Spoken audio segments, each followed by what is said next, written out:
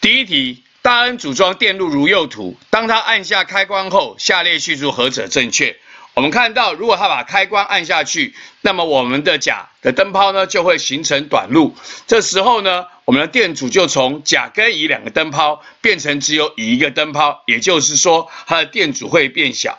那么根据我们的公式 V 等于 IR，当我们的电压是一样的时候，如果我们的 R 变小了，那我们的电流就会变大。所以呢，这时候通过电池的电流，也就是所谓的总电流就会增加。所以呢，我们的甲灯泡将会不亮。而呢，我们总通过电池的电流，所以总电流呢会增加。所以呢，我们知道答案是 B。所以第一题问我们说，当他按下开关之后，下列叙述何者正确？我们答案选的是 B。甲灯泡不亮，通过电池的电流增加。